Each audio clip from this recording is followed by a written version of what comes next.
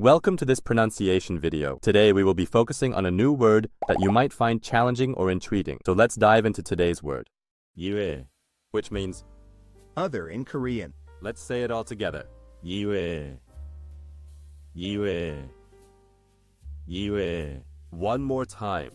ioeui. ioeui. ioeui. Thank you for joining us on this adventure in pronunciation. Remember, language is a journey, not a destination. Keep exploring, experimenting, and expanding your linguistic horizons. We'll see you next time.